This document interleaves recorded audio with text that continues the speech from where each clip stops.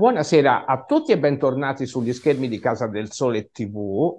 Vi prego di iscrivervi a, ai nostri canali partendo dal canale YouTube e anche Rumble e Odyssey e vi prego di sostenere il nostro lavoro. Noi andiamo avanti soltanto grazie alla vostra collaborazione e sostegno che potete darci facilmente dalla pagina web www.casadelsole.tv barra sostienici abbonandovi o mandandoci un contributo una tantum e continuando a restare insieme a noi.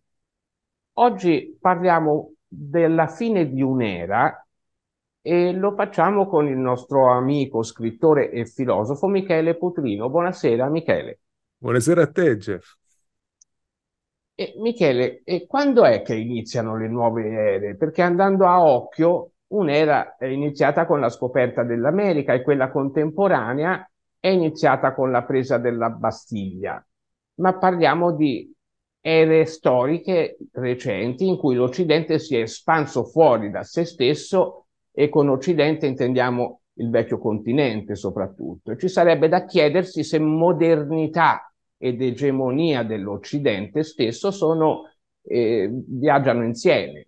Il dato storico è che prima abbiamo evangelizzato e civilizzato gli altri che abbiamo chiamato barbari, che è un po' l'equivalente dell'esportare la democrazia.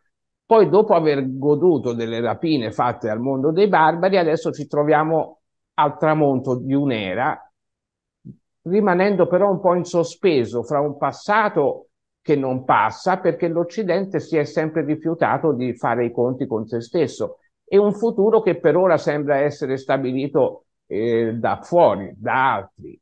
In che era stiamo entrando secondo te? E l'uomo continuerà a farsi manipolare e a maestrare come ha fatto finora, Michele? Allora, guarda Jeff, per, mm, secondo me dobbiamo iniziare con il distinguere tra ere ed epoche. Ok? Perché normalmente sono due cose che le persone, due parole che mm, le persone comunemente utilizzano in maniera eh, come sinonimi, no? In realtà non è così. Eh, l'era è qualcosa che dura per tanto tempo, per millenni, per un'ideologia, è un'ideologia, diciamo così, che domina dei, qualche millennio. Ecco, mettiamolo in questo modo. Mentre un'epoca sono periodi più brevi con cambiamenti storici all'interno di eh, questa era. Ora, noi possiamo distinguere eh, nei tempi relativamente recenti, diciamo così, tra due ere.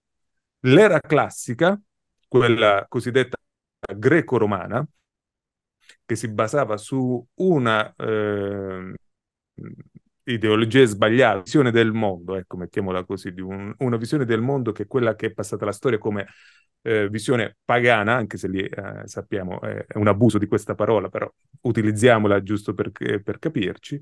E in cosa consisteva questa visione del mondo? Dell'uomo che prende come punto di riferimento la natura. Questo era il concetto di, di fondo nell'era classica.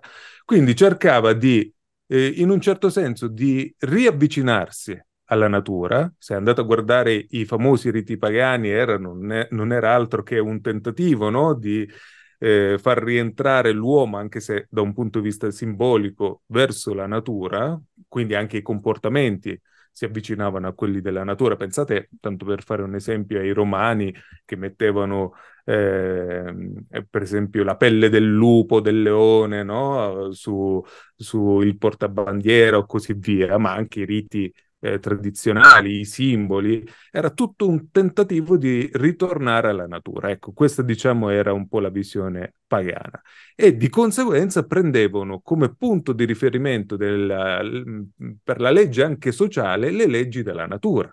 Quindi da lì nasceva anche il discorso di accettare la gerarchia, la, la forza fisica, il coraggio fisico e così via, no? E quindi non c'era quel discorso morale di, di, eh, di, indicare come qualcosa di negativo anche il dominio, perché loro lo percepivano come qualcosa che appartiene come nell'ordine della natura e quindi uno eh, lo accettava e, e, così via. E c'era un codice ovviamente d'onore che derivava da questa visione della natura. In sintesi, si osservavano di nuovo le leggi della natura e venivano applicate all'uomo, alla società umana. Questa era la cosiddetta era pagana. E così eh, era per i romani, per i greci, per i vichinghi e, e per i popoli che cercavano questa visione. Successivamente si è presentata una nuova era, cioè c'è stato un cambiamento di visione del mondo totale, che è quella che l'era che è passata alla storia come l'era cristiana. E qui cambiano le cose. Il mondo eh, cambia completamente visione del mondo in senso proprio opposto. Dal che, dall'avvicinarsi alla natura, al prendere come punto di riferimento la natura, a allontanarsi dalla natura, a vedere il mondo come il regno, sappiamo, no? il regno del demonio, il regno di Satana, anzi qualcosa che più ti allontani dalla natura e, e, e meglio è. Quindi nasce il concetto dell'astrazione, dell'ideologia, ecco perché prima... È come dicevo... si tagliavano gli alberi perché, perché, nel paganesimo si adoravano gli alberi e la esatto. Chiesa alla Chiesa questo non, non piaceva. Esatto, anche per esempio anche i romani, i greci, quando tagliavano gli alberi lo facevano mh, con dei riti, c'era tutto un rito, c'era un cercare in, di rispettare comunque eh, la natura, perché ovviamente c'era una divinità lì che, che, regnava e così via, stessa cosa con i fiumi e così via. Eh, il, al contrario, invece, col regno cristiano, con, perdonatemi, con l'era cristiana, eh, diventa invece la natura diventa qualcosa soltanto da sfruttare e di porre al servizio dell'uomo. Tant'è vero che proprio anche eh, nella Bibbia c'è scritto proprio che eh, l'uomo regnerà sulla natura e che animali, alberi, qualsiasi aspetto della natura è al servizio dell'uomo.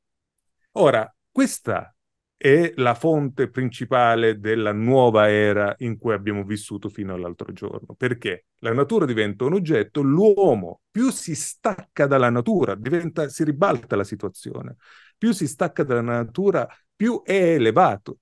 Pensate a tutta quella, eh, quella ossessione che c'è stata fino a ieri per, ad esempio, ehm, non so, ehm, la, l'apparire un intellettuale, no? quindi astratto, quindi sai tutti i titoloni, no? i professoroni, eccetera, veniva vista come una cosa magnifica, anzi, più se eri così e più sei un individuo elevato, più sei intellettuale astratto e meglio Perché è. hai studiato le arti libere, quindi sei e quindi più ti stacchi dalla natura, no? più venivi percepito, uh, ma questo fino a ieri l'abbiamo visto, in alcuni casi succede ancora oggi, no?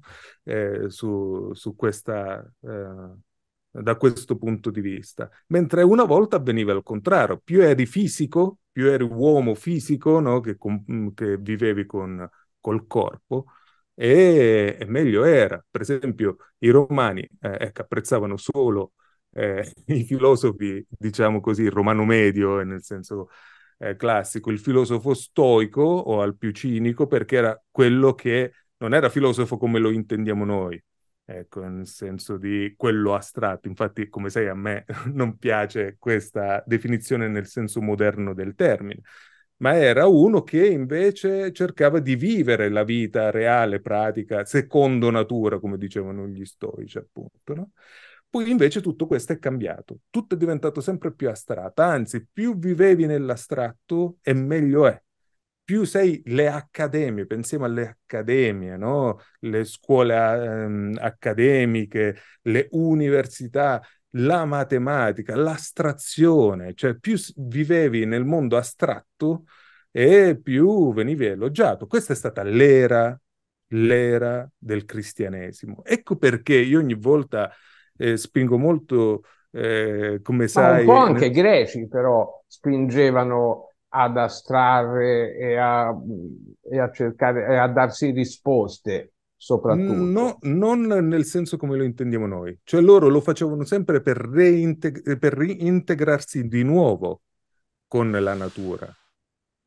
I numeri, per esempio, visti dalla scuola di Pitagora, ad esempio, era perché cercavano di leggere il linguaggio della natura, anche se poi lì inizia quella fase che poi porterà all'era cristiana, perché è ovvio che il, i germi erano già presenti.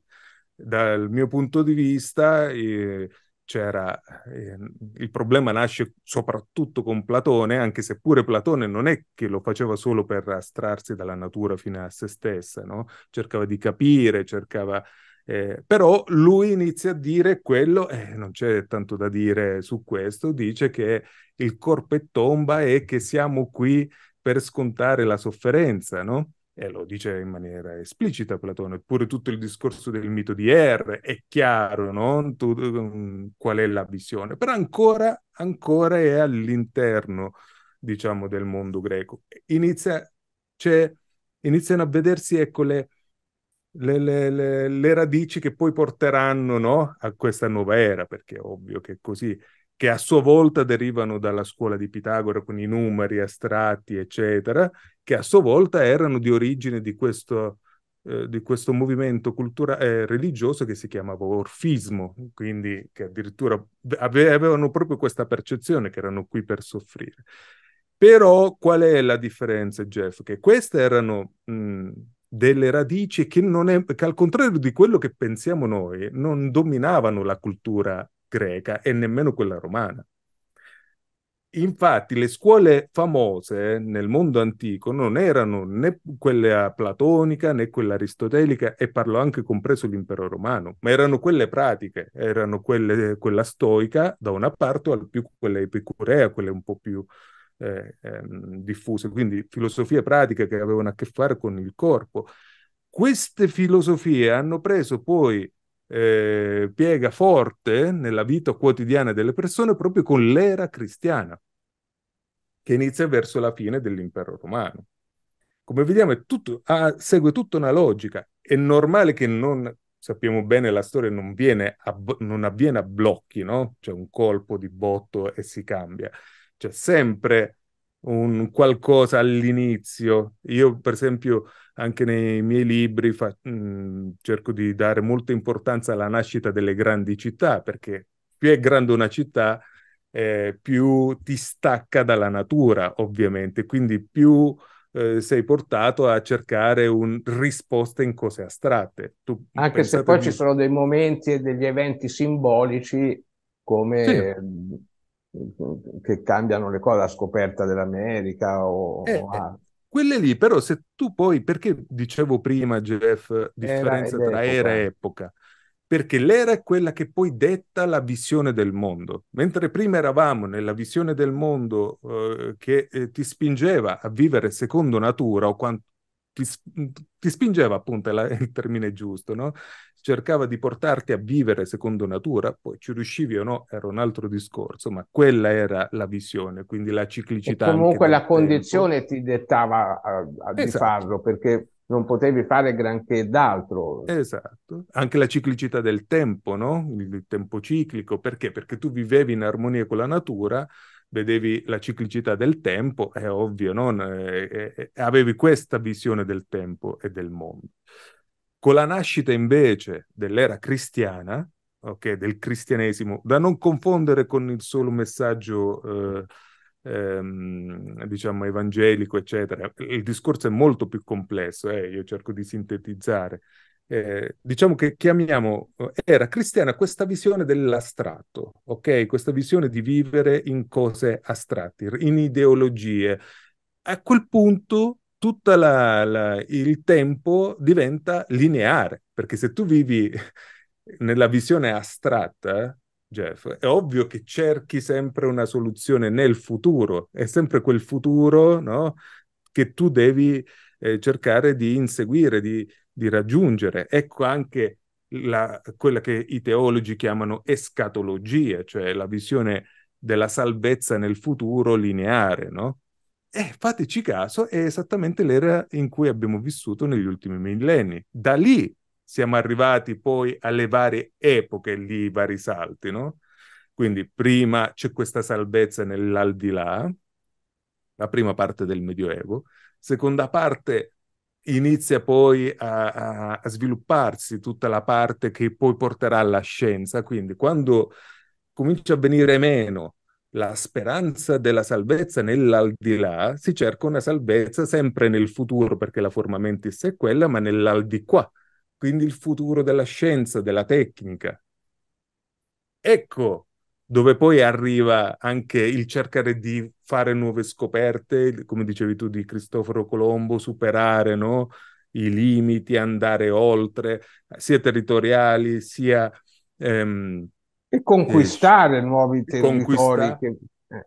Ma non era più un concetto di conquista semplice secondo natura come veniva inteso fino all'impero romano, Qui si tratta proprio di espanderti, tu ti devi espandere perché la natura, il concetto è scatologico, devi, devi espanderti verso il futuro, allargarti sempre più, sempre più, sempre più, perché la salvezza è nel futuro e da qui arriviamo a quel concetto geopolitico che noi vediamo oggi degli imperi come vengono intesi, intesi oggi, non come secondo l'impero romano. Se vuoi adesso magari facciamo anche...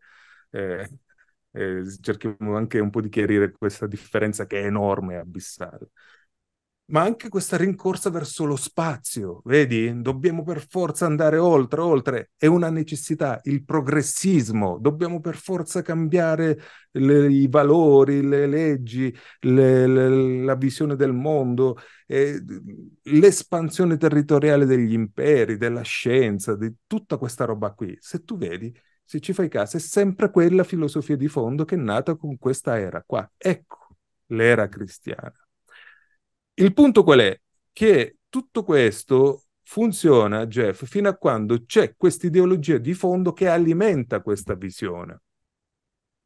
È qua che possiamo dire in maniera un po' scherzosa casca l'asino, perché fino a quando c'è tutto un movimento culturale forte e spirituale, religioso, che alimenta questa visione, allora tu poi la eh, passi nella vita quotidiana, nel mondo del lavoro e, e, così via. Anche se ti dichiari ateo, attenzione, eh? anche se ti dichiari ateo, perché se tu ti dichiari ateo, ma tu vivi in questa visione del mondo in cui eh, anzi in questa società alimentata in maniera così forte da questa visione del mondo dove la salvezza è verso il futuro, dove è giusto che tu ti devi espandere in qualsiasi modo, territoriale, intellettuale e così via, ebbene, anche se ti dichiari ateo, tu vivi in questa società che ti spinge a fare questo.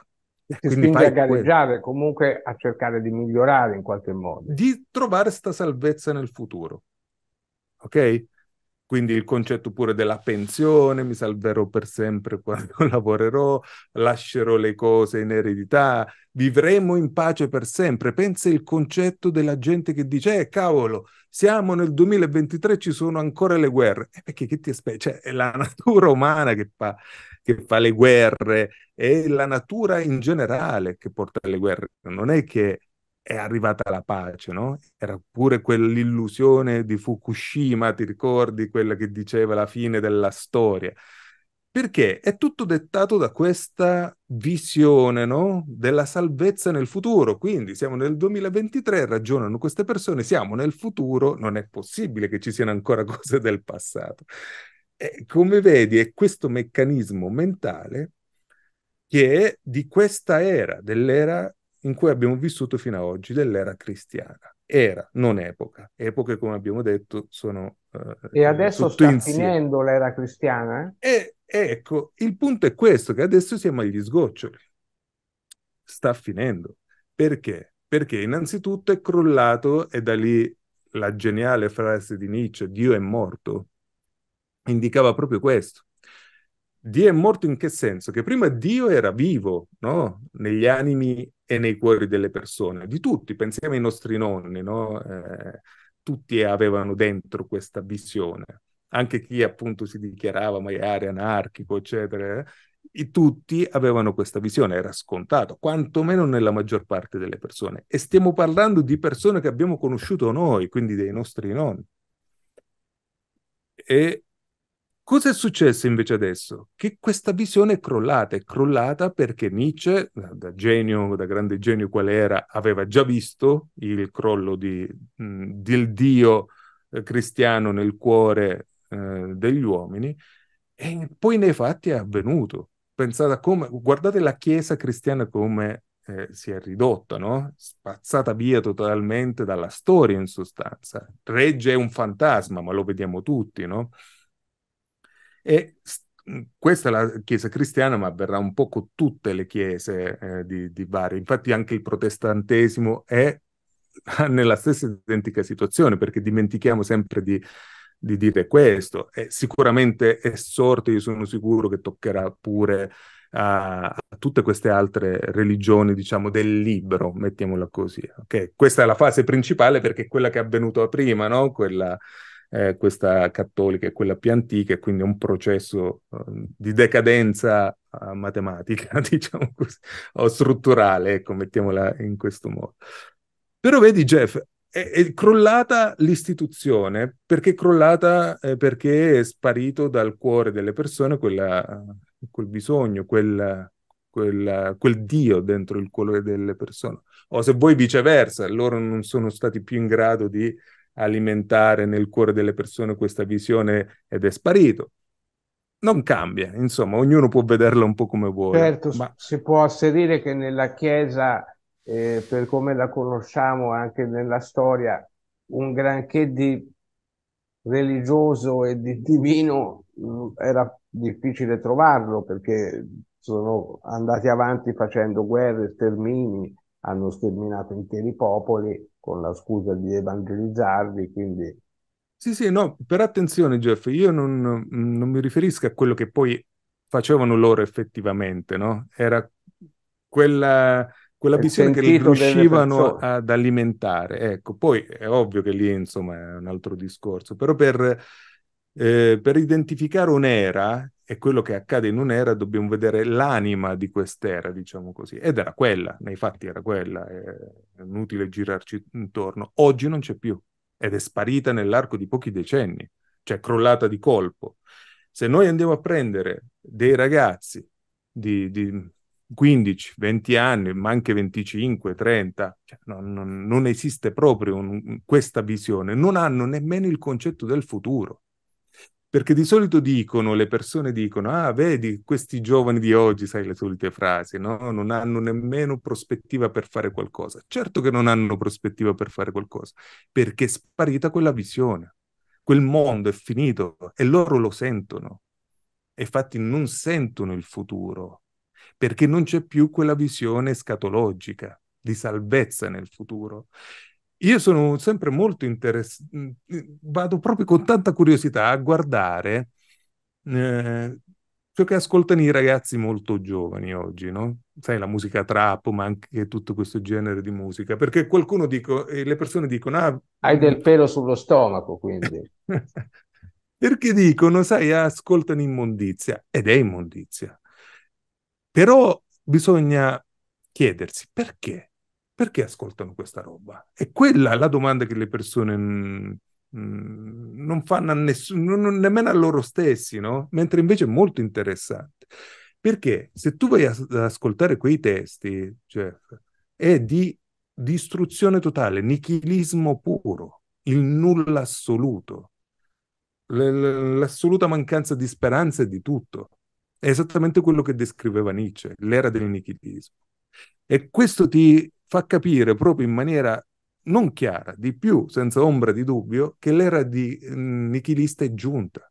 E l'era nichilista è, eh, Jeff, eh, sempre l'era tra la fine di un'era e l'inizio dell'altra. È il vuoto, il nulla, no? Perché quel passaggio, tra il momento del passaggio c'è un vuoto, è normale, perché deve ancora nascere quella, quella nuova.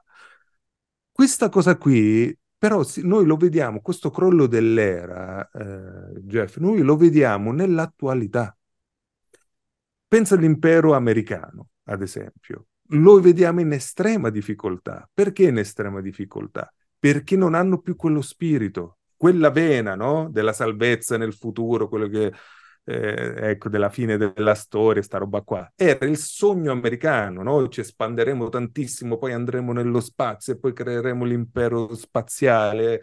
No, pensate Star Trek, eh, i film di fantascienza americani. Questa, Era partito no? dai pellegrini, veramente, poi però si è un po' degenerato però erano perché portavano la bandiera di questa visione della salvezza del futuro, della, dell'era. Loro hanno portato all'apice questa visione della... ed è normale che sia così se vai a guardare il processo storico, no? Prima l'espansione del cristianesimo ed era cristianizziamo tutti, poi dobbiamo portare anche il, nelle terre straniere, poi della tecnologia e alla fine arriviamo all'impero americano. Processo, se andate a guardare la storia, è eh, cercate di leggere mh, tutto il processo storico attraverso questa visione scatologica diventa chiarissimo, chiarissimo, è mh, impeccabile come ragionamento. Ovviamente non è una cosa che ho fatto io da zero e, e ci sono fior fiori di studiosi, no? Che eh, ormai... Quindi siamo in un, in un, passaggio fatto di un, di un iper, di un metanichilismo che è quello sì. che vediamo, e, e, però stiamo entrando comunque in una scusa, in una nuova era. Eh, ma in che era? Perché alcuni parlano, per esempio, dell'epoca o dell'era, parlano di transumanesimo. Forse, essendo morto Dio, forse adesso si sta entrando in questo meccanismo piuttosto poco No, no, piacevole. il transumanesimo, Jeff, rientra sempre in quel processo lì, scatologico. In realtà è semplicemente è pari pari al costruire l'impero galattico, per dire, capito? cioè, se tu segui quel processo, tu per continuare ad andare avanti, eh, per portare avanti questa era, è, è, ovvio che il meccanismo mentale che a te devi, viene da devi pensare... conquistare Marte, poi dopo... Quindi il transum- devi superare il corpo, devi evolverti. È, è la proiezione di questa era nel prossimo futuro. Il problema qual è?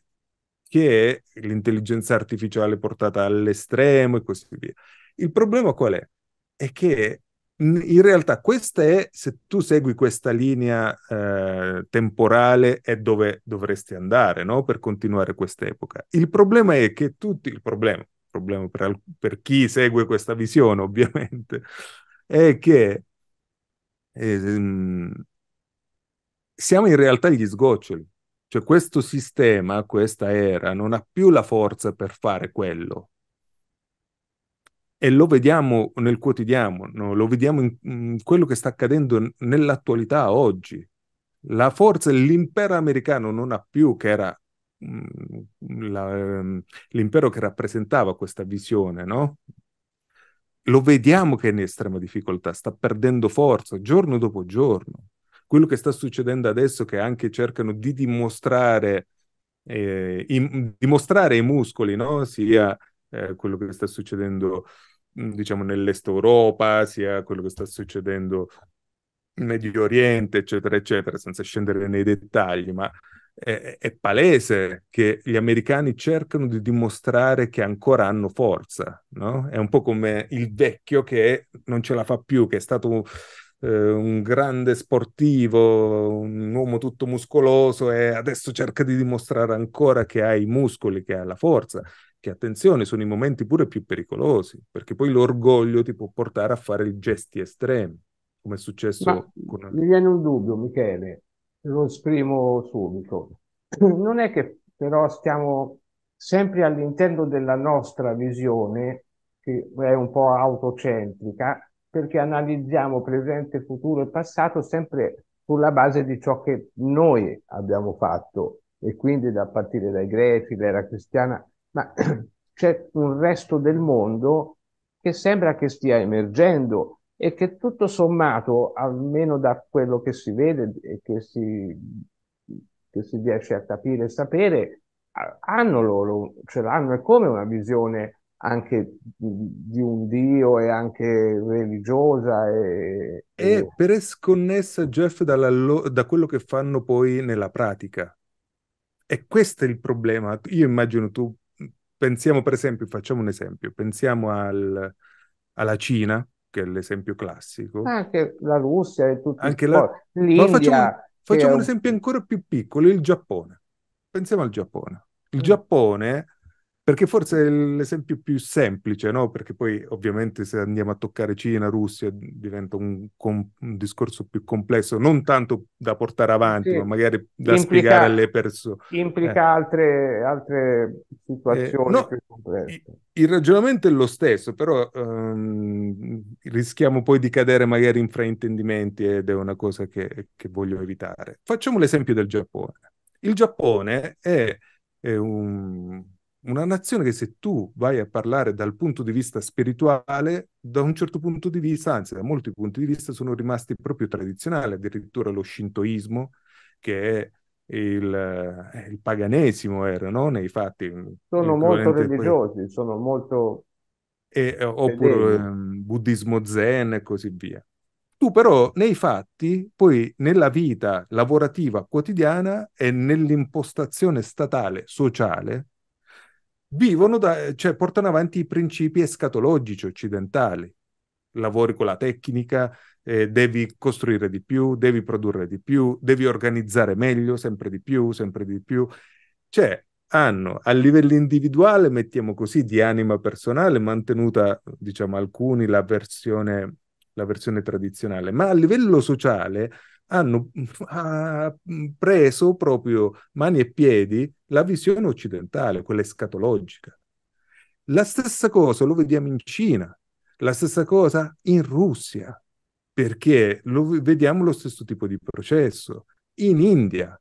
E infatti in questi popoli, però, mh, a parte la Russia, vabbè che ha una storia tutta particolare, come sappiamo, molto legata in realtà a Europa e Occidente, poi c'è quella tendenza un po' a volersi distinguere. Vabbè, è un discorso, sappiamo che la Russia è un po' complessa da, da trattare. Però, Però se andiamo... parte dell'Europa, diciamo. Certo, io sono, mh, mm, come dire, straconvinto che è proprio Occidente, cioè nel senso che deve, dovrebbe essere considerata proprio eh, totalmente in questo processo anche scatologico, però mettiamo anche lì da parte perché eh, non voglio cadere in fraintendi- essere frainteso, ecco, più, più, che altro questo. Però restiamo, ecco, anche l'esempio della Cina. La Cina è, ha, ha, preso totalmente l'approccio occidentale, lo vediamo, la tecnica, le fabbriche, il costruire, il voler andare sulla Luna e così via. Restando sempre con l'esempio del Giappone, eh, fino all'Ottocento, eh, un po' anche soltanto chi ha visto eh, non so, l'ultimo samurai, il film, lì si vede questo processo. Fino ad un certo punto hanno resistito, hanno mantenuto i valori tradizionali e infatti non hanno costruito tutta quella roba di tecnica e tecnologia. Quando hanno deciso di accettare questa visione del mondo occidentale, beh, vediamo il Giappone a che punto è arrivato. Stessa cosa è avvenuta in Cina. Ecco, questo per dire che in apparenza, magari, se noi andiamo a guardare soltanto le religioni dominanti che toccano... Quindi non magari... è solo l'era cristiana che finisce, ma è proprio l'era... L'era del... cristiana in senso a 360 gradi. Cioè... Senso lato, sì. Perché ormai è diventata globale. Il globalismo, questa visione della tecnica, della tecnologia, del meccanicismo, diciamo così, è l'evoluzione delle scatologie, quindi no? della salvezza sulla tecnica e sulla materia. E questo è il problema qual è, Jeff? E, e, questo è anche il motivo per cui, piccola parentesi, se ci fate caso, in Oriente non hanno mai o quasi mai costruito qualcosa di innovativo di propria iniziativa, hanno sempre copiato, migliorato, no? C'è questo detto famoso, ma mai fatto di propria iniziativa. Perché? Perché non hanno quella cultura escatologica, quindi semplicemente si, la imitano, cioè la, la, la, rifanno propria, la portano all'eccellenza, come sappiamo, ma eh, non è nella loro cultura questa visione escatologica. Da noi sì, infatti come vedi è questa la visione. Il problema qual è? È che essendo che siamo agli sgoccioli, quando crollerà e crollerà l'impero americano, il, la cultura occidentale, ed è già crollata in realtà, Jeff, quando Nietzsche ha detto Dio è morto, è già morta questa cosa dentro di noi. Ancora c'è l'inerzia, c'era l'illusione, ma basta guardare le nuove generazioni. Basta vedere come sta reagendo, come stanno reagendo gli americani alle situazioni del mondo. Si vede che hanno perso forza, si vede che sta morendo questa era anche a livello proprio pratico, anche quell'inerzia inizia a, a perdere forza e questa cosa trascinerà dietro tutto e tutti, diventerà inevitabile questo. Il problema è come, se si spegnerà semplicemente, oppure di solito, come succede con chi si trova con le spalle al muro, e io temo stia avvenendo più questo, si reagisce con la forza. E da qui, secondo me, si riesce anche a capire perché tutti si stanno armando, stanno si sta alzando parecchio la tensione nel mondo, come vedi, no? Perché ad un certo punto tu perdi quella forza un po'. Da una parte trovi il coraggio di reagire come avresti voluto, dall'altra eh, senti questa mancanza di forza e quindi tipicamente, come succede eh, purtroppo alla fine delle ere, si rischia veramente un qualcosa di grave. Per, per, speriamo dare anche un messaggio di speranza, Michele, ma l'essere umano eh, ce la farà, sopravviverà, perché io credo che comunque sì, è possibile che succeda quello che tu stavi dicendo, molto possibile, lo si sta vedendo, però poi c'è la speranza che nasca qualcosa di nuovo comunque. Eh, Guarda, sarà ancora l'essere umano o la vita prenderà altre forme, secondo te? Ma secondo me ancora ci sarà, poi come non lo sappiamo, non lo possiamo sapere, no? Cioè questo però, che la vita continua in genere eh, eh, dovrebbe essere così, altrimenti non avrebbe veramente eh, nessun senso, no? Il, il tutto. Però, insomma, dovrebbe Dipenderà continuare. un pochino anche da noi, forse. Però guarda, Jeff, io ti dico una cosa. La fine, l'inizio, come si vedeva, per esempio, eh, come si vedevano le radici della nuova era durante, durante il periodo greco-romano, quindi della vecchia era, ehm, del mondo greco-romano, quindi della vecchia era, si vedono le radici della nuova oggi. Secondo me, a uno sguardo attento e si nota questo tornare ad avvicinarsi alla natura da parte delle persone, di tutti, eh? Anche il... Io ho visto manager che si avvicinano, a, um, che tentano di fare piccole coltivazioni di propria iniziativa, magari fanno, vivono nei grattacieli, eccetera, però cercano la pianta. Cer- anche questa, sai, questa ossessione pure per il green che poi è viene una ricerca sfruttata... delle radici, sì, anche in quella narrativa allucinante. Ecco, che ovviamente viene sfruttata, sappiamo eh, come anche. Però di fondo cosa c'è? C'è questa ricerca della natura, no?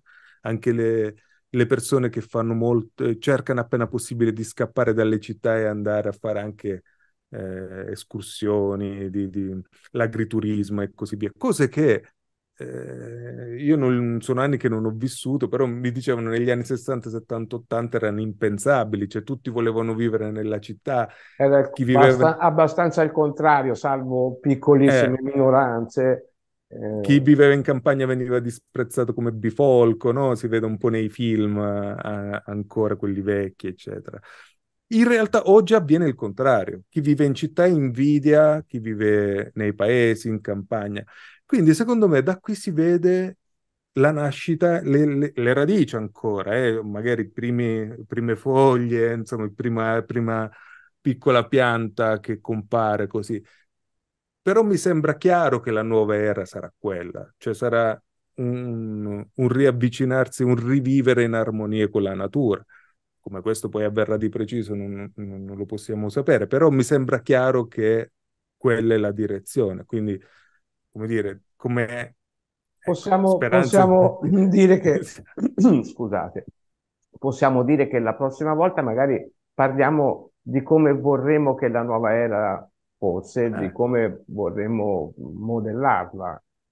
Sì, io credo che, guarda, alla fine eh, la gente tornerà ad accettare, quando tu accetti poi la natura come, come eh, avevano fatto appunto gli antichi, poi accetti pure morte, dolore, sofferenza, perché la visione scatologica della salvezza verso il futuro ti porta a disprezzare queste cose, no? non vuoi soffrire, non vuoi morire e così via. Da lì l'ossessione per il transumanesimo, il buonismo, eh, il, la cultura non walk. Non vuoi sentir parlare di, di, esatto. di, morte e dolore, non se ne vuole sentire. Nemmeno, no, la cultura walk cos'è? Il, il, terrore anche per la mezza parola che ti può ferire internamente. Cioè, e se vedi è dovuto a questa ideologia, no? Della salvezza verso il futuro. È che quando tu ritorni alla natura, accetti di nuovo la sofferenza, anche lo scontro fisico, anche, però rimani vivo dentro e questa è la differenza. Secondo me, ecco, questa sarà la, la, la nuova era, insomma, da quello che vedo. Allora rimaniamo umani e rimaniamo vivi anche. Esatto. Grazie Michele, grazie ci diamo te, appuntamento alla prossima volta, grazie di aver partecipato. Grazie, a presto.